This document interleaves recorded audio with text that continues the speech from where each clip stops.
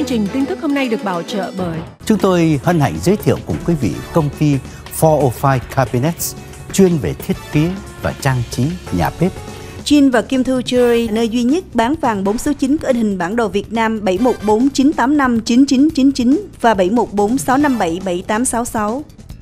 TMN Insurance, xe và nhà giá rẻ, hãng bảo hiểm tốt, đền bù thỏa đáng 714 741 2008.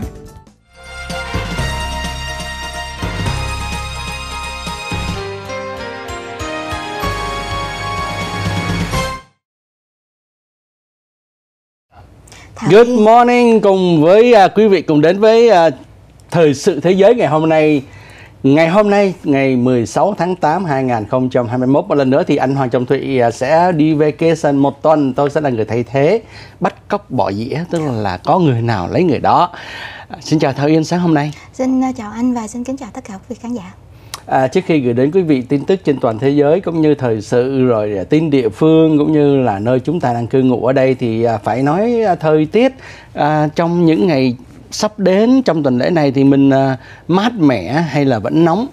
À, vâng thưa quý vị và thưa anh à, dự báo thời tiết cho thấy đó là hai ngày đầu tuần thứ hai với thứ ba thì à, nhiệt độ đã giữ ở mức là khoảng 81 đến 83 độ. Nhưng mà bắt đầu qua từ thứ tư trở đi kéo dài cuối tuần đó thì quý vị cũng thấy là à, sáng sớm trời à, rất là âm u nhiều mây. À, bởi vì à, tuần này đó cái à, dự báo thời tiết về cái cơ hội mưa nó cũng tăng lên à, nhiều từ 15 cho đến 20 phần trăm. À, chính vì vậy mà bắt đầu từ giữa tuần trở đi đó thì à, nhiệt độ giảm à, trung bình là vào khoảng 78 à, à, cho đến 79 độ. Nói chung là tuần này bắt đầu thấy mát mẻ hơn rồi thưa quý vị.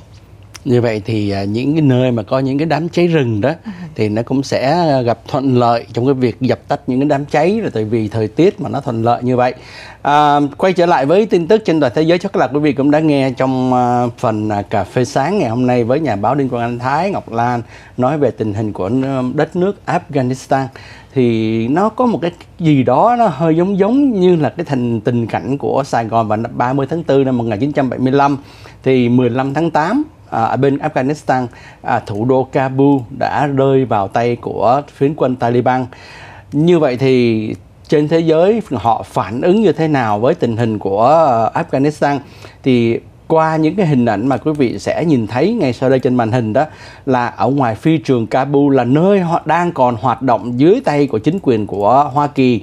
Hoa Kỳ gửi, lập tức ngay ờ, qua bên này là 5.000 binh sĩ để bảo vệ cái phi trường này, cũng như là để tìm cách di tản những công dân ngoại quốc hay là của Mỹ ra khỏi uh, Kabul, ra khỏi Afghanistan trong một ngày hoặc hai ngày hoặc ba ngày thì không biết là khi nào thì cái phi trường này mới bị uh, không còn hoạt động được nữa. Uh, cái hình ảnh đó thì thấy nó y hệt như vậy. Thấy người dân người ta tràn vào trong phi trường trong cái đường băng rồi họ bám những lên những chiếc máy bay những chiếc máy bay khổng lồ như là chiếc C17 đó của Boeing đó. Rồi họ cố tìm cách để ra khỏi đất nước. À, mặc dù là có những cái chương trình để cho những người này à, đi định cư ở một quốc gia thứ ba nhưng mà chắc là thời gian không còn kịp để đưa tất cả những người này. À, hiện tại đó thì có khoảng 2 hoặc 3 ngàn người đã tới được Hoa Kỳ nhưng mà cũng còn tới gần 20 ngàn người còn kẹt ở lại như thế thì không biết là khi nào. Thì à, phiến quân à, Taliban này mới à, à, chiếm luôn cái phi trường này và không cho à, hoạt động nữa à, nhưng mà trên thế giới đó thì à, phản ứng khác nhau. Có những người người ta nói là à, nó giống như Việt Nam 1975 có những người nói so sánh họ nói là nó hơi khác một chút là tại vì hai cái mục đích ở hai nơi nó khác nhau. Đó nhưng mà bây giờ quay trở lại với lại thị trường chứng khoán ngày hôm nay quý vị nha. À, tin Afghanistan sụp đổ như vậy rồi phiến quân tràn vào Taliban đó thì thị trường chứng khoán sẽ uh, như thế nào ngày hôm nay? Trước tiên thì mình thấy là sáng ngày hôm nay đó thì cả S&P 500, Dow Jones, Nasdaq đều xuống hết. Rồi giá dầu thô cũng xuống uh, giá vàng thì tăng lên được một chút. Uh, có nhiều uh, nhà uh, giám đốc hay là chiến lược tài chính đó của nhiều công ty lớn thí dụ như là của TD Ameri Ameritrade nè họ nói rằng là trong cái tình hình này đó thì các nhà đầu tư họ đang nghiên cứu coi khi mà Afghanistan sụp đổ như vậy đó thì nó có biết làm biến động thị trường chứng khoán hay không? À, tuy nhiên nếu mà quý vị nhìn qua một cái à, lĩnh vực khác thí dụ như là những mà người mà chuyên môn đấu giá à, cho Bộ Quốc phòng thì họ nói rằng là cái cuộc chiến này sẽ chưa chấm dứt khi Taliban lên sẽ còn có khủng bố nhiều hơn nữa. Và vì thế những cái gì mà liên quan tới Bộ Quốc phòng, những súng đạn này kia đó sẽ bắt đầu sẽ được làm nhiều hơn. Thì sáng hôm nay à, mấy hãng lớn mà làm về à, những cái gì đó cho Bộ Quốc phòng như là Northrop Grumman như là Lockheed Martin như là nhiều hãng đó thì như là Boeing nữa nè rồi họ đã bắt đầu thấy là cái cổ phần à, chứng khoán của họ đã tăng lên. À, không có nhiều nhưng mà họ nói rằng là họ nghi ngờ rằng nếu mà chiếm đóng uh, ta, Taliban chiếm đóng Afghanistan như vậy đó thì dĩ nhiên là Mỹ sẽ phải lo lo lo đau đầu thêm vì tình trạng khủng bố sẽ xảy ra. Mỹ trước đây à, vào năm 2001 sau khi mà cái biến cố khủng bố xảy ra ở New York đó thì họ đã à, chiếm đóng Afghanistan để mà tiêu diệt quân khủng bố. Hồi đó cái cái quân khủng bố mà người ta uh, nghe nhiều nhất đó là Al Qaeda à, thì họ đã cái mục đích bây giờ họ nói rằng là Al Qaeda đã không còn nữa chỉ còn là một ít ít thôi mà thôi không có đáng kể. Rồi à, mục tiêu đó là à, dẹp trừ khủng bố à, những cái tai họa đến cho đất Hoa Kỳ này thì họ nói là làm xong rồi bây giờ thì họ rút quân về. Hồi tháng tư đó thì tổng thống Joe Biden có nói rằng là tới à, 31 tháng 8 hoặc đầu tháng 9 là rút quân ra hết nhưng mà cái tình hình nó diễn biến quá lẹ đi chỉ trong có vài ngày thôi à, quân Taliban đã chiếm được những thành phố lớn chung quanh thủ đô Kabul rồi bây giờ chiếm luôn cả Kabul nữa rồi người dân tràn vào phi trường để mà ờ, chạy trốn khỏi cái chế độ này. À, quý vị thấy là khi uh, Taliban chiếm Afghanistan đó à, chiếm vô trong thủ đô Kabul rồi thì họ đưa ra những cái thông cáo giống y hệt như là hồi xưa mà à, chính quyền mà giải phóng ờ, Sài Gòn thông báo rằng là à, sẽ đối xử tốt với lại những người ở chế độ cũ nếu mà quý vị hợp tác với chúng tôi à, và vân vân vân vân thì y hệt như vậy. À, thị trường chứng khoán ngày hôm nay thì Dow Jones hiện tại đang mất đi 135 điểm, S&P 500 mất đi 24 điểm, Nasdaq mất đi 183 điểm, dầu thô là trừ à, 1 đồng 70 xu cho một thùng dầu thô. Giá vàng hôm nay thêm được khoảng 11 đồng 70 xu. Thì đó là những cái tin tức mới nhất về vấn đề à, thị trường chứng khoán trong những cái ngày mà đang chờ đợi coi là ở Afghanistan có những cái diễn biến như thế nào nữa.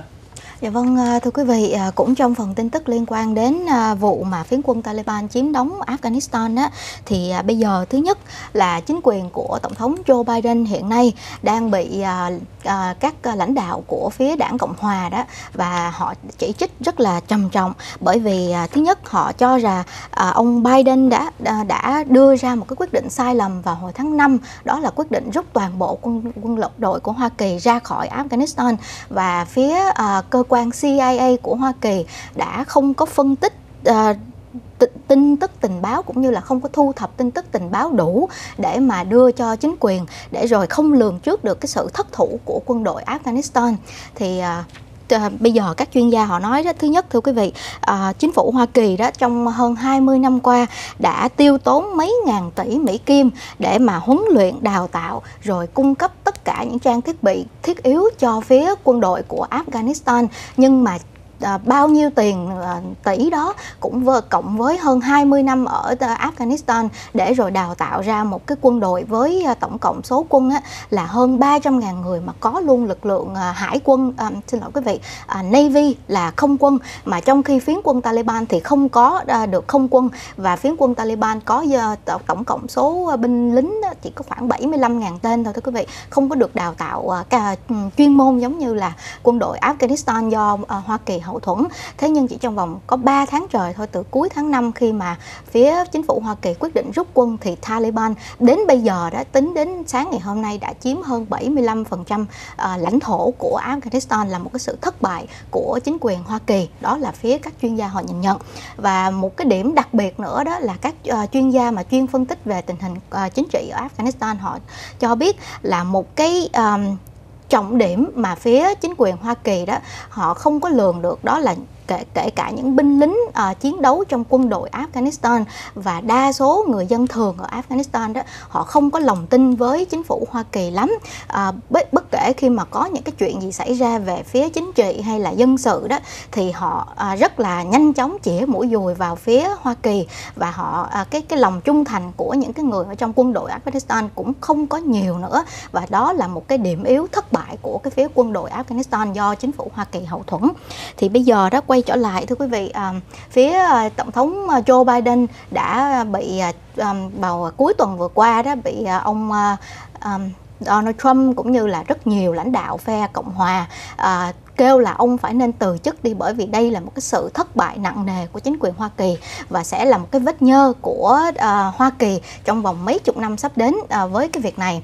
Uh, thì phía uh, tổng thống Biden uh, cho biết là uh, tòa bạch ốc tuyên bố là trong vòng tuần này ông sẽ có một cái tuyên bố chính thức uh, trả lời cho toàn dân cũng như là sẽ giải thích rõ ràng cặn kẽ à, về cái việc à, sự thất thủ của Hoa Kỳ liên quan đến vấn đề này. Và bên cạnh đó thì hiện nay đó cái câu hỏi đặt ra đó là số phận của rất nhiều những cái công dân Hoa Kỳ mà từ hồi trước tháng 5 đó họ quay trở về Afghanistan để mà thăm gia đình nhưng mà bây giờ bị bất ngờ bị kẹt trở lại. Họ, bị kẹt ở đó thì sẽ như thế nào? Và chúng tôi sẽ tiếp tục quay trở lại phần tin tức này sau phần quảng cáo. Cảm ơn quý vị tiếp tục theo dõi.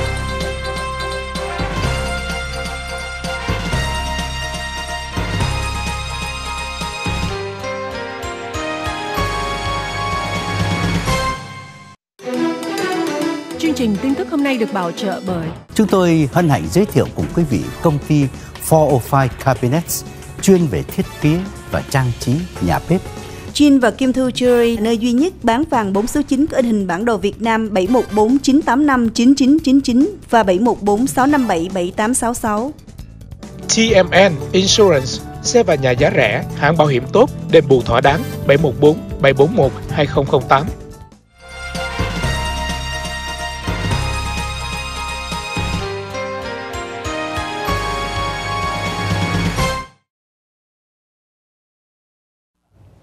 Cảm ơn quý vị vẫn đang theo dõi chương trình tin tức sáng nay và thưa quý vị, à, bây giờ đó à, các à, một à, bây giờ quay đến số phận tiếp theo của à, nhiều người công dân Hoa Kỳ nhưng mà họ đang bị kẹt lại ở Afghanistan là bởi vì từ trước tháng 5 đó họ à, quay trở về thăm gia đình. À, họ không ngờ được là phía chính quyền của tổng thống Biden sẽ tuyên bố rút quân ra khỏi đó và bây giờ họ bị kẹt. Thì theo như báo chí ở tại à, địa phương đó họ ghi nhận được là bây giờ rất nhiều người họ gọi về cho những người à, mà công dân Hoa Kỳ đang bị kẹt ở đó đó là thứ nhất kêu họ phải giấu hết tất cả uh, passport với lại green card uh, uh, những cái bằng chứng cho thấy họ là uh, mang quốc tịch Mỹ thưa quý vị. Chứ nếu không mà phiến quân Taliban chúng mà vào và chúng phát hiện được chắc chắn những người này sẽ bị giết. Rồi bên cạnh đó đó uh, phía uh, CIA bây giờ không còn quân đội để mà hỗ trợ và CIA cũng sẽ không còn có mặt ở uh, uh, ở Afghanistan nữa. Thì cái vấn đề mà uh, kiểm soát rồi thu thập tình báo nó sẽ gặp vô vàng khó khăn. Và bên cạnh đó thì còn số phận của hàng chục ngàn công dân Afghanistan mà trong hơn 20 năm qua đó họ làm việc giúp đỡ cho chính phủ Hoa Kỳ. À, chẳng hạn những người thông dịch viên đồ đó thưa quý vị thì bây giờ số phận của những người này à, đang giống như là chỉ mành treo treo chuông vậy. Bởi vì bọn phiến quân Taliban đó từ trước khi mà chúng chiếm đóng được thủ đô Kabul là chúng đã luôn truy lùng những người này để mà chúng giết. Thì à, và cái việc mà cái cái cái quá trình để mà được chính phủ Hoa Kỳ à, chấp nhận cái đơn cho họ xin tị nạn đó nó vẫn kéo dài vô cùng. Là theo như phía um, Ờ, uh, CNN họ ghi nhận được là một tháng trời đó chỉ có khoảng từ 5 cho đến 7 hồ sơ của những người này được chấp thuận là một cái con số quá ít ỏi bởi vì số người mà còn à, nộp đơn đó lên đến hàng chục ngàn người lận thưa quý vị. Nhưng mà phía chính phủ Hoa Kỳ tòa bạch ốc họ cho biết là à, đây là một cái việc rất là khó khăn bởi vì họ cần phải um, uh, verify uh, cái cái thân thế chứng thực được đây là những người từng làm việc cho chính phủ Hoa Kỳ chứ không phải là bọn uh, khủng bố trà trộn vào. Để rồi một khi mà lỡ những cái hồ sơ sai lầm này mà bị được phê duyệt cho chúng vào Hoa Kỳ thì sẽ gây ra hậu quả khôn lường. Và bên cạnh đó đó thì uh, bây giờ phía uh, uh, Hội đồng Bảo an Liên Hiệp Quốc thưa quý vị và chính phủ Hoa Kỳ bây giờ bắt đầu họ lo sợ cái bước tiếp theo đó là khi mà Taliban đang chiếm đóng rồi thì cái nơi này sẽ là một cái nơi nó thu thu hút hàng loạt những cái bọn khủng bố từ những cái quốc gia khác nó tràn vào và CIA không có mặt thì sẽ gây ra sẽ tiếp tục là một những cái chuỗi thời gian tiếp theo phía um, các quốc gia Tây phương sẽ đối mặt với uh, cái bọn uh, khủng bố.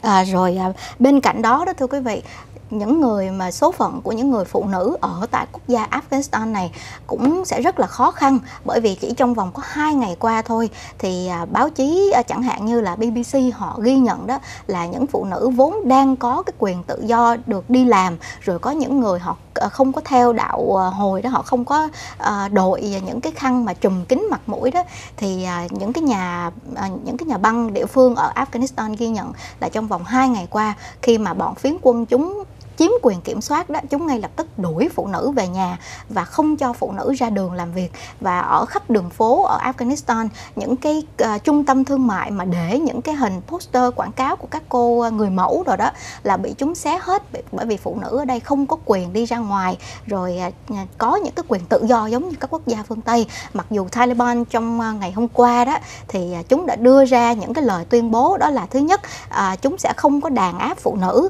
uh, chúng sẽ cho phụ nữ quyền tôn trọng vân vân. Nhưng mà thực sự những cái à, ở bên ngoài thực tế đó nó khác hẳn những cái lời tuyên bố của Taliban. Và bên cạnh đó mới sáng ngày hôm nay thì Taliban lại đưa ra thêm một cái tuyên bố nữa. Đó là chúng nói rằng những à, người những quan chức của chính quyền Afghanistan đó sẽ không bị chúng truy lùng giết và chúng cũng sẽ không có cướp uh, À, à, tài sản đất đai của họ à, kêu họ không cần phải chống chui chống nhủi. Tuy nhiên các chuyên gia họ nhận định đừng tin những gì Taliban nói bởi vì chỉ nhìn theo những cái hành động chúng làm. Chỉ trong vòng 2 ngày vừa qua đó nó khác hẳn. Và Taliban thì chưa có tuyên bố rằng là những người theo chế độ cũ sẽ được đi học tập 10 ngày. Đối với quý vị, à, cái tình hình nó diễn biến ở Afghanistan nó làm cho thế giới cũng phải theo dõi coi từng phút một coi tình hình nó như thế nào. Sáng hôm nay thì có tin là uh, liên đoàn châu Âu tức là tức là bên phía châu Âu sẽ họp khẩn cấp rồi hội đồng bảo an liên hiệp quốc cũng sẽ họp khẩn cấp. Rồi các nước tây phương mà chưa đưa được người của họ đang bị kẹt lại. Thí dụ như anh quốc nè rồi những nước khác nữa chưa đưa được người của công dân của họ đó ra khỏi afghanistan cũng phải có những cái kế hoạch làm sao an toàn để đưa họ trở về đất nước. Và đồng thời có những cái cuộc họp à, trên diện rộng để mà bàn tới nhìn tới cái tương lai của Afghanistan như thế nào để mà họ có những cái chính sách phù hợp với đất nước này. À, qua những cái bản tin đó thì mình thấy rõ ràng là ở bên uh, phía chính quyền Taliban sau khi mà đã vô được uh, cái dinh tổng thống của bên uh, phía uh, chính phủ Afghanistan đó thì họ đưa ra những cái uh, lời kêu gọi rồi những cái uh, thông báo y hệt như là Ngọc Thảo Yên vừa mới nói xong đó là uh, chính quyền những người làm việc chính quyền cũ đó thì chúng tôi sẽ không có uh, uh, xét xử họ hay là chúng tôi sẽ nhân nhượng với họ à, họ ra đầu hàng thì chúng tôi sẽ khoan hồng rồi sẽ khi mà hợp tác với chúng tôi thì chúng tôi sẽ có những cái điều kiện thuận lợi cho họ vân vân. À, một loạt những cái thông báo được đưa ra rồi những người dân họ nói rằng là phiến quân Taliban sẽ không có nổ súng làm cho dân sợ hãi à, mong muốn là mang lại hòa bình cho đất nước Afghanistan với chế độ mới là của Taliban thì đó là những cái à, mà người ta đang nói là chính quyền của Taliban đang cố để mà làm dịu lại để cho thế giới thấy rằng là họ không phải là những người ác độc vân vân. Thì bây giờ quay trở lại với phần tin địa phương thì ngày hôm nay có một cái bản tin đó là ở tại à, cảng của Memphis, Tennessee đó thưa quý vị. À, họ đã vừa mới chặn được một cái lô hàng container từ Trung Quốc. Trong này họ phát hiện ra hơn 3.000 thẻ chích ngừa COVID-19 giả được làm ở Trung Quốc và gửi qua Hoa Kỳ này. À, thông báo đó cho biết rằng là khi mà khám xét đó, cái lô hàng này đó thì họ thấy trong này có những cái thẻ cô chích ngừa COVID-19. Rồi khi mà họ nhìn kỹ đó thì sai chính tả rất là nhiều từ tiếng Anh cũng sai và tiếng Trung Quốc à, tiếng à, tiếng à, tiếng Tây Ban Nha đó tiếng Mễ đó cũng sai luôn nữa sai nhiều lắm. Và có những cái câu nó không hoàn chỉnh nữa. Vậy mà cũng làm được và mang gửi qua bên Hoa Kỳ này. Thì à, họ nói rằng là theo như ông Michael Neput là giám đốc ở nơi cái cảng của Memphis Tennessee thì ông cho biết rằng là um, vaccine ở tại Mỹ thì miễn phí ai chích cũng được hết. Ai cũng có quyền đi chích hết miễn là trên 12 tuổi. Rồi đâu có phải là bắt buộc phải đi chích hay là quý vị có quyền lựa chọn nữa. Mình muốn không chích thì không chích nhưng mà quý vị đừng bao giờ xài những cái thẻ giả này. Những cái thẻ giả này trên đó thì quý vị đã điền vô những thông tin sai lệch về mình nè gây hại cho những người chung quanh nè. Quý vị dùng những cái thẻ này để mà đi vô những cái nơi thể thao những uh, trường học những uh, rạp hát thì quý vị không những gây nguy hiểm cho mình mà còn gây nguy hiểm cho những người chung quanh làm mất thời gian của cơ quan công lực nữa. Là tại vì phải đi điều tra những cái thẻ giả này. Họ à, cho biết rằng là những cái thẻ giả này đã có nhiều nơi đăng đặc biệt là những cái trang mà mạng xã hội đó là gần tới 200 đô một cái. Mà trên đó để trống không có để tiền ai hết. Quý vị mua về là điền tên rồi tên giả tên thật gì đó miễn là đi tới đâu mà ai hỏi là có chích ngừa chưa đó thì móc ra. Thì những cái thông tin sai lệch đó sẽ làm tổn thương đến cái uh, uh, cái hồ sơ về y tế của chính mình luôn nữa thôi với quý vị. Cho nên đừng bao giờ mà xài những cái thẻ chích ngừa Covid giả như vậy mà đặc biệt là họ bắt được một cái container là 3.000 cái tờ thẻ đó để chống mà lại sai chính tả lung tung hết. Thì đó là một trong những cái bản tin từ Memphis, Tennessee hôm nay vậy là phải có à, phải có cầu thì mới có cung chứ đúng không? Vậy là phải có người đặt hàng nhiều như vậy. Thì đó thì đó bây giờ đó cái biến thể delta nó tung hoành đó thì bắt đầu có nhiều tiểu bang là ra những cái lệnh là à, phải có chứng minh được là mình đã chích ngừa rồi thì mình mới được vào. À, cho nên có nhiều người họ vẫn đang do dự chưa có đi chích ngừa thì họ phải đi mua những cái đó để họ được vào nhà hàng để ăn rồi vô coi thể thao này kia. Thì dĩ nhiên là những cái người đó thì họ từ 25 đồng cho tới 200 đồng một cái thẻ như vậy tùy những cái người bán. Đó cho nên uh, quý vị nhớ là những cái cái cái cái việc làm như vậy đó nó tốn tiền của thuế của dân nữa. Cơ quan công lực phải đi tìm bắt rồi đi về truy tố rồi phải ôi nhiều lắm. Cho nên mà cái cái cái cái này là có phạt nặng lắm đó nha. À. là tại vì chiếu theo cái bộ luật số 18 của Hoa Kỳ một 1017 đó tại vì những con dấu của CDC nè rồi những cái gì mà có cái cái logo của chính phủ đó là chúng ta đã lạm dụng rồi. Chúng ta đã ăn cắp những cái đó để mà in, ấn những cái tài liệu riêng của mình đó, thì cái đó là bị phạt rất là nặng. Chúng ta sẽ quay trở lại sau một ít phút thông tin thương mại bảo trợ cho thời sự thế giới ngày hôm nay.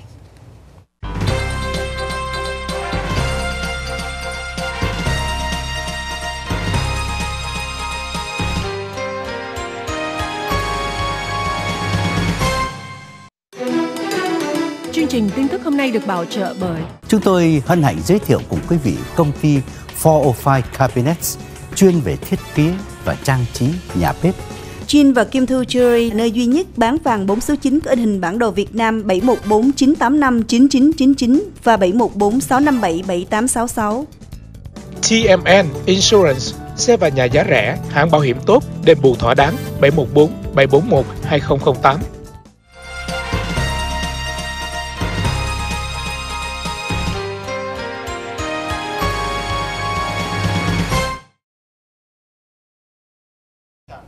Thảo Yên và Nguyễn Trường quay trở lại với phần 3 tiếp tục gửi đến quý vị những bản tin đáng chú ý trong ngày hôm nay. Và thưa quý vị, mới sáng hôm nay thì à, cơ quan à, NTHSA là cơ quan à, kiểm tra an toàn giao thông của Hoa Kỳ đó. À, đưa ra cái tuyên bố đó là họ đã chính thức mở một cái cuộc điều tra đối với tất cả dòng xe của Tesla mà có gắn cái hệ thống à, tự động lái thưa quý vị đặc biệt được sản xuất từ năm 2014 đến năm 2021 nghĩa là tất cả những cái dòng xe chẳng hạn như là Model Y, Model X, S Model 3 à, và đặc biệt là sản xuất từ năm 2014 trở đi thưa quý vị. À, với cái lý do đó là đã có rất nhiều những cái vụ tai nạn liên quan đến à, tất cả những cái à, dòng xe này của Tesla. Nhưng mà khi mà gây ra tai nạn đó là trong lúc đó người lái xe họ bật cái chế độ à, tự lái hoặc cái chế độ à, một nửa tự lái thôi nghĩa là à, trợ giúp người lái. À, cái cái Tesla nó họ có hai cái chế độ. Một là để cho nó tự lái hoàn toàn luôn nhưng mà vẫn lâu lâu người lái phải giữ hờ cái tay lái chẳng hạn. Nhưng mà có một cái nữa đó là à, cái hệ thống mà một nửa à, tự động đó là nó giúp cho cái chiếc xe à, giữ thẳng trên cái đường len. Và bất ngờ nếu mà đằng trước họ à, có xe thắng đó thì Tesla à, cái, cái lúc đó cái hệ thống nó có thể từ từ nó thắng gấp lại. À, nhưng mà phía à, NTHS họ cho biết là à, đặc biệt trong năm 2018 đó có xảy ra 11 cái vụ đụng xe à, hoàn toàn 11 cái vụ này là hai cái hệ thống đó đang được sử dụng và à, có một người đã chết trong à, 10 cho trong 11 cái vụ này. Rồi à, vào từ năm 2016 đó thì họ điều tra 31 vụ mà trong đó là hết 10 người bị thiệt mạng là bởi vì có liên quan đến à, khi mà à, cái chế độ mà một nửa tự động đó thưa quý vị đáng lý ra là theo như cái chế độ đó là nếu mà tặng trước à, thắng lại đó à, cái cái cái chiếc xe đằng trước thắng lại thì cái hệ thống này nó phải lập tức nó được kích hoạt và chiếc Tesla ngừng lại. Nhưng mà có một cái trường hợp đó là à, cái chiếc Tesla nó đang chạy mà cái lane kế bên đó có một cái xe của lính cứu hỏa một vụ đụng xe nào đó lính cứu hỏa đang đậu xe và đang giúp đỡ cái vụ ở đó thì chiếc Tesla này không hiểu sao tông thẳng vào đó luôn thưa quý vị và khiến cho thêm người bị thương và tử vong ở trong cái vụ đó. Thì bây giờ cái cơ quan à, này họ mở cuộc điều tra xem là có phải là cái hệ thống mà à, trợ giúp của Tesla đó không có thực sự hiệu quả à, như là à, phía à, Tesla nói hay không? Và từ đó đã đưa ra những cái phán đoán à, những cái phán đoán sai lầm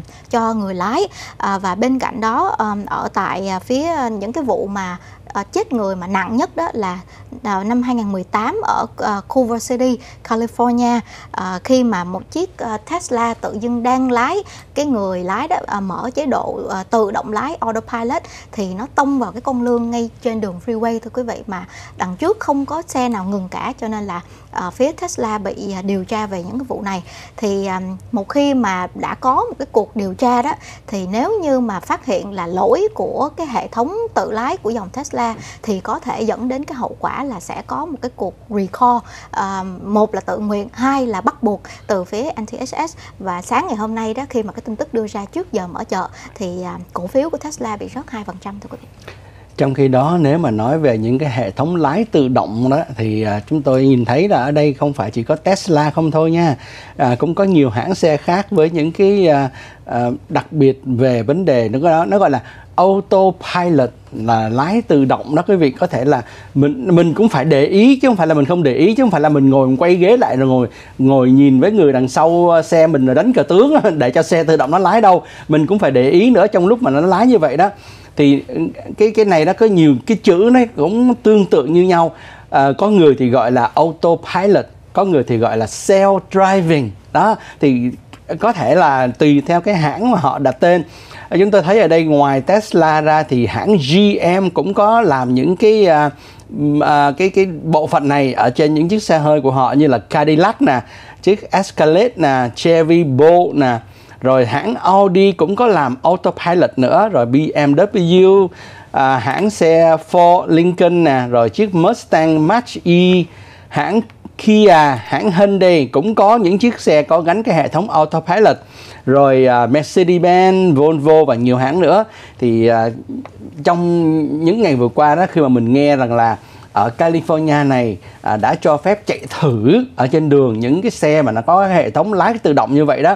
À, nhưng mà họ vẫn khuyến cáo rằng là chúng ta phải để mắt là nhìn con đường chúng ta đi chúng ta phải à, để ý chung quanh chứ không có để tự động cái xe nó chạy một muốn chạy đâu thì nó chạy. À, đó là những cái tin liên quan tới vấn đề mà autopilot hoặc là self driving. Hay ha khi nào mà mình chúng ta có thể quay lưng lại ngồi với người đằng sau u- uống trà đọc báo trong xe đó tự động nó lái mình đưa mình tới sở làm đậu lại cái này thì tự động mở cửa xe ra để mình đi xuống. À, quay trở lại với những bản tin trên thế giới đó thì à, quý vị cũng biết à, trận động đất à, đo được ở trên độ Richter scale là 7.2 à, xảy ra ở tại à, cái này nó gọi là nước Cộng hòa Haiti ha. Nước Cộng hòa Haiti. Haiti là một cái vùng, nhiều cái đảo nó hợp lại thành một cái nước mà vùng Caribbean, nó gần gần Cuba đó quý vị. Gần với lại à, Miami, Florida đó, thì cái vùng này nó gọi là Caribbean Sea. Thì vùng biển này thì có cái à, nơi này đó. Port-au-Prince là thủ đô của Haiti. Thì cái trận động đất này đó cho đến sáng ngày hôm nay thì người ta cho biết rằng là đã, đã thống kê được là khoảng 1.300 người đã bị tử vong vì cái trận động đất này. Và hiện tại thì tất cả các công cuộc đó để tìm kiếm người còn sống cũng như là bơi ra từ những đống đổ nát để coi những cái sự thiệt hại nó như thế nào vẫn đang tiếp diễn ra ở ngay tại Haiti. À, vì đây là một cái vùng à, trong vùng biển của Caribbean cho nên đã có những cái thông báo về những cái sóng thần có thể xảy ra. Nhưng tuy nhiên sau đó thì họ đã hủy những cái thông báo này và nói rằng là à, cái mức độ nghiêm trọng để có sóng thần xảy ra thì không có cho nên à, họ đã hủy bỏ những cái thông báo. À, nhưng mà cho đến ngày hôm nay đó thì cơ quan à, chính phủ ở ngay tại đây cũng như các giới chức thì họ cho biết rằng là có thể con số người sẽ còn cao hơn nữa chứ không phải tới đó là hết à, hiện có những cái tòa nhà rất là cao à, đã sập xuống à, cho nên trong cái, những cái đống đổ nát đó có thể là còn có những cái à, người mà đang liệt kê trong cái thành phần gọi là mất tích đó thì họ hy vọng rằng là nếu mà cứu được thì cũng sẽ cứu được những người này hoặc là nếu mà trong vài ngày sắp tới khi mà không còn khả năng là những cái người mà bị à, ở trong đống đổ nát đó nữa mà còn sống đó thì họ sẽ là đi uh, uh, kiếm những cái thống kê về những cái con số người đã thiệt mạng trong cái vụ động đất xảy ra ở tại Haiti. Uh, chính quyền ở khắp nơi trên thế giới hiện nay cũng đang là uh, muốn góp tay một ít cho Haiti để mà cho có những cái uh, viện trợ y tế nè cũng như là viện trợ về vấn đề mà lương thực thực phẩm cho những người dân ở đây. Quý vị thấy sau khi trận động đất xảy ra đó thì rất nhiều người đã xếp hàng ở ngoài những cái nơi mà có những cái vòi nước đó. Họ xách những cái bình tới để họ đựng nước uống. Họ nghĩ rằng là hệ thống nước nè rồi những cái hệ thống um, về điện nè đã bị hư hại. Cho nên trong những ngày sắp đến thì có thể là không có nước rồi không có điện đó cho nên họ sẵn sàng họ đi ra xếp hàng. Một cái hàng nó dài cả mấy trăm cái thùng xếp xếp xếp hàng như vậy đó để mà đi lãnh nước uh, các nước ờ, phương Tây thì nói rằng là sẽ mang những cái uh, xe cần cẩu rồi xe bới đất rồi này kia mang tới để giúp cho Haiti mau chóng phục hồi lại những cái gì đã bị tổn thất trong cái trận động đất này. Dạ vâng, ờ, thưa quý vị và tin breaking news từ phía Tòa Bạch Ốc cho biết là đáng lý ra đó Tổng thống Joe Biden ông đang ở có một cái chuyến công du đang đến căn cứ Camp David để mà ủy lạo binh sĩ. Và theo như lịch trình đúng đó là vào khoảng thứ năm này ông mới quay trở về. Tuy nhiên dưới cái sức ép của um, từ hai phía về cái uh, cuộc chiến ở tại Afghanistan thì phía tòa Bạch Ốc cho biết là hiện bây giờ đó tổng thống Joe Biden đã quay trở về và ông sẽ uh, có có một cái uh, đưa ra một cái lời tuyên bố vào lúc 3 giờ 45 phút chiều ngày hôm nay giờ địa phương ở Washington để mà thứ nhất uh, giống như lúc nãy chúng tôi đã tường trình đó là giải thích cái quyết định của ông cũng như là uh, đưa ra những cái kế hoạch sắp đến cho những gì mà phải được giải quyết xong ở uh, chiến trường Afghanistan. Đó là uh, giải cứu hàng chục ngàn công dân Afghanistan đang đã từng làm việc cho chính phủ Hoa Kỳ. Thì à, kể từ hồi thứ ba tuần trước đó là tổng thống Joe Biden đã chưa có xuất hiện chính thức để mà đưa ra đưa ra những cái lời uh, um, uh, um, comment về cái việc mà ở Afghanistan. Mà vào hôm thứ bảy vừa rồi đó ông chỉ đưa ra một cái văn bản thông qua tòa bạch ốc. Đó là ông uh, cái lý ông giải thích uh, rất là uh, nhanh chóng về cái lý do mà ông rút quân. Đó là ông không muốn uh, chính phủ Hoa Kỳ bước vào à, một cái à, à, thập kỷ thứ 30 tiếp tục xa lầy vào cái chiến trường ở đây nữa và cái văn bản hôm thứ bảy thì ông giải thích đó là ông tin tưởng là cái quân đội Afghanistan mà do Hoa Kỳ đào tạo ra trong suốt 20 năm qua đó, có thể giữ vững được đất nước, nhưng mà không ngờ là cái tình hình nó lại thay đổi lẹ như vậy. Chúng tôi sẽ quay trở lại với phần thứ tư của chương trình à, Thời sự Thế giới ngày hôm nay và đặc biệt nữa là anh Anthony đã có mặt để gửi đến quý vị tất cả những cái bản tin về tài chính, về hầu bao của quý vị nha. Mời quý vị cùng trở lại sau phần thông tin thương mại.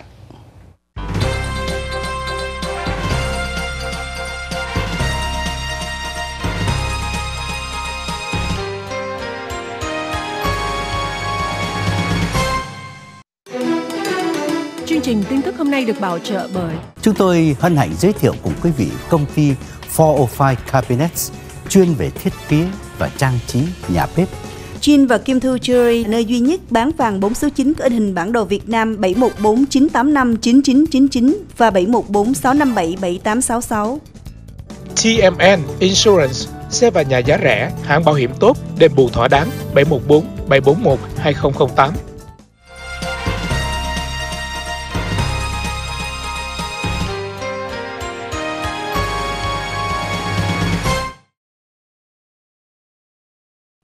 Trở lại với à, thời sự thế giới phần thứ tư à, trong ngày thứ hai ngày hôm nay một lần nữa thì chúng tôi gửi đến quý vị những bản tin về tài chính à, hoạch định ra coi như tài chính của mình như thế nào bản tin về kinh tế với lại anh Anthony. Xin chào anh Anthony. À, mến chào anh. Kính chào quý vị. À, trong những ngày vừa qua đó thì à, bà con của mình đi chợ đó thì nói là cái gì cũng tăng giá hết nhưng mà chỉ có mỗi đồng lương của mình nó không lên giá.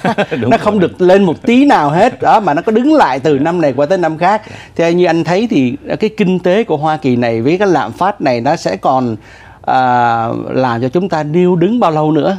À, cái từ nó gọi là transition tức là tức là từ như là thay đổi thừa cơ hội à. nếu mà anh anh có một cái business, chẳng hạn nhà hàng đi, một năm anh không có mở cửa, bây giờ cho phép mở cửa, anh muốn lấy lại những cái gì anh mất, những cái gì anh lỗ, thì anh cũng phải tăng cái giá lên Um, đa số đó thì khi mà được hỏi về vấn đề tại sao giá cả lại gia tăng thì có nhiều người đổ thừa là tại xăng lên nè vận chuyển lên nè rồi Đúng. hàng hóa thiếu nữa nè Đúng. cho nên làm tất cả những cái đó nó nó làm cho tất cả mọi thứ mà uh, giá cả gia tăng uh, nhưng mà chính quyền của tổng thống Joe Biden ngày hôm nay nha uh, ông nói rằng là cái chương trình gọi là trợ cấp food stamp đó tem phiếu để đi mua đi chợ mua đồ đó thì trong tháng 10 này sẽ được tăng lên 25% cho mỗi gia đình. Có nghĩa là đâu đó khoảng 36 đô cho tới 72 đô. Họ nói rằng là vì giá cả gia tăng nè, rồi quý vị à, hơn 3 phần tư tức là 42 triệu người ở Hoa Kỳ này dùng cái phiếu thực phẩm để đi chợ là food stamp đó mà mới có một tuần đầu thôi là 3 phần tư số lượng người này xài hết tiền rồi. Cho nên đối phó với tình trạng này, chính quyền tổng thống Joe Biden nói rằng là sẽ phải tăng thêm cái tiền food stamp đó và ông Tom Vilsack là bộ trưởng bộ nông nghiệp nói rất là phù hợp trong thời điểm này để mà tăng ờ, lên như vậy. À, bây giờ quay trở lại với thị trường chứng khoán là tôi thấy mấy ngày hôm nay trên Facebook bạn bè tôi nói rằng là à, cái đồng gì đó đồng Bitcoin nó lên dữ lắm rồi, sắp yeah. Dạ. chuẩn bị để bán được rồi. Anh thấy thế nào? Nói nói về Bitcoin đó thì ừ. uh, uh, mình nghĩ đó thì cũng nên uh, đa dạng hóa uh, Bitcoin mình chính mình là cũng như cần xưa như là gold đó phải không? Thì nó bảo vệ cái đồng đô la của mình thôi. Đồng đô la xuống thì anh nên đầu tư qua những gold hay bây giờ là uh, tiền ảo uh, tiền tiền điện tử. Cái đó là mình cái ý kiến của Anthony. Uh, thì cũng trong cái đề tài hôm nay là cái uh, nãy mình nói là thừa cơ hội phải không? Thì uh, hôm nay có vài ý kiến hình như năm sáu ý kiến thì quý vị uh, lấy viết ra. Okay. cái cơ hội uh, thứ nhất là bây giờ là mùa thu tức là cái mùa tự trường nha. Cái công ty nó gọi là um, The Children Place tức là chuyên môn bán quần áo cho cho uh, con nít. Đó. Uh, hồi xưa thường đó là có một ngàn tiệm cửa tiệm. Nhưng mà tại vì covid đóng hết thì chỉ còn có 700 thôi chuyển hướng qua lên mạng.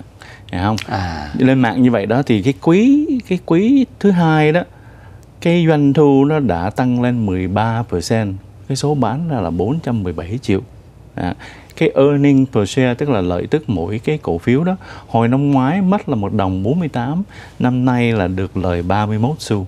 Đó cái đó là quý 2 quý 3 đó thì uh, thị trường mong rằng là cái doanh thu sẽ tăng lên đến 500 triệu nhá. Earning per share sẽ lên 3 đồng lận. Đó thì anh thấy cái cái khuynh hướng bây giờ là thay vì cửa tiệm the children place là PLCE là lên lên mạng thì cái khuynh hướng đó thì nó được lời hơn. Cái giá cao nhất của cái cổ phiếu này là hình như một trăm một một trăm lẻ năm. Bây giờ cái chừng uh, bằng cái, cái mức cao. Nhưng tại vì cái đà mà tăng trưởng như vậy nó sẽ có cái điểm cao hơn. Đó. thì theo cái trường hợp này thường thường Anthony là uh, khuyến khích là nên sử dụng nó gọi là à, um, 25% trailing stop. Anh mua 100 dưới 75 anh set cái limit loss anh nên bán. Rồi 100 nó lên 125 anh set cái new uh, ờ, limit là 100 đồng. Thì từ 125 nó xuống 100 thì anh nên bán. Thì cái đó là để bảo vệ cái principle của mình thôi. Và công ty thứ hai uh, cái lĩnh vực mà đang for cái hồi phục là về năng lượng. Nói chung nói riêng là về dầu thô.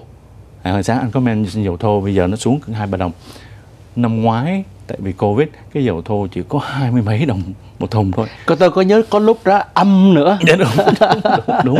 Yeah. Dạ. nhưng bây giờ đó cái giá dầu thô là lên gần 70 một công ty Anthony uh, đề nghị đó là uh, uh, Devon Energy uh, cái cổ phiếu là uh, DVN hiện tại bây giờ có chừng 27 28 đồng cái công ty thường thường đó là sản xuất có chừng 5.000 thùng mỗi một ngày nhưng mà quý 1 đến quý 2 đó là sản xuất được 268.000 Wow. thùng mỗi một ngày. Mấy chục lần. Dạ, mấy chục lần. Đúng. Thì thì từ cái doanh thu mà 1 tỷ 7 nó nhảy đến 2 tỷ 4 từ quý 1 đến quý 2 quý 3 đó là cái thị trường mong rằng ờ, doanh thu sẽ lên đến 135% cái số doanh thu là đến 2 tỷ rưỡi. Nha earning per share sẽ được là 78 xu per share. Hồi năm ngoái đó lại trừ 1 đồng 78 đó bây giờ là 76 sen anh thấy cái sự khác biệt Đó. trong năm 2021 cái doanh thu sẽ được mong là trên 85% cái số bán ra cái chừng 9 tỷ rưỡi những cái, cái cổ phiếu này Anthony uh, suggest là yeah, cho set cái limit 25% yeah. Mỗi thường Anthony nói là ờ, nên giữ cái chừng 1, 2, 3 đến 3 năm trở lên. Nhưng mà quý vị nên set cái limit. Những cái giá này nó nó lên xuống cũng rất là nhiều, rất là nhanh.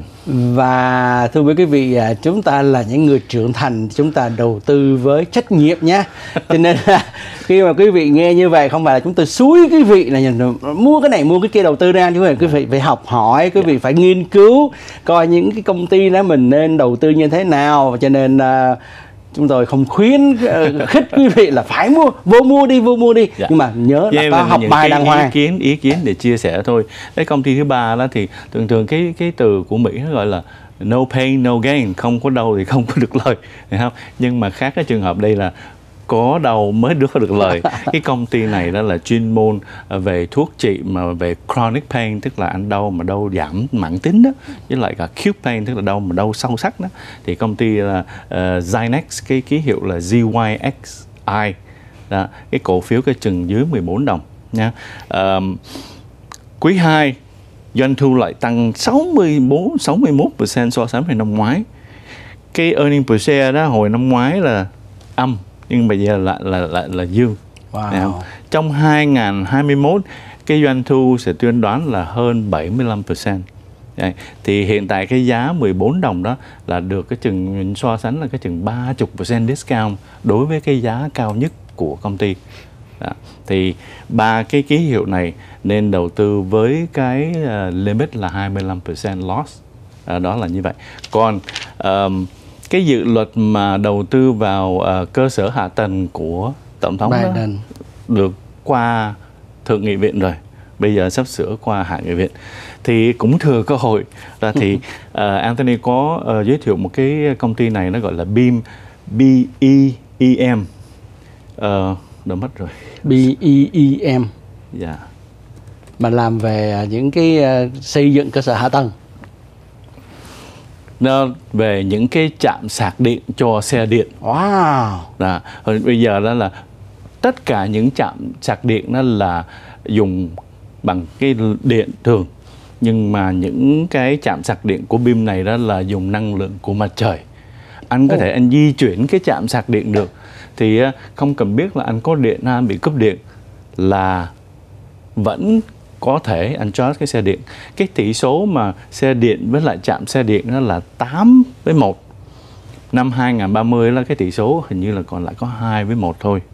Đó thì cái công ty này Anthony có đề nghị có uh, chia sẻ với quỹ hội tháng 10 à, năm ngoái cái những cái giá 14 đồng hiện tại giờ là 30 nhưng mà cái giá cao nhất của công ty này là 76 wow à không tức là 50% discount bây giờ vẫn là nửa giá sale đó Dạ. Anh cứ nghĩ coi nếu mà cái cái dự luật infrastructure mà được pass là cái cái cái uh, cái gọi gọi là cái giá trị của cái thị trường này nó lên đến 6.000 tỷ lận.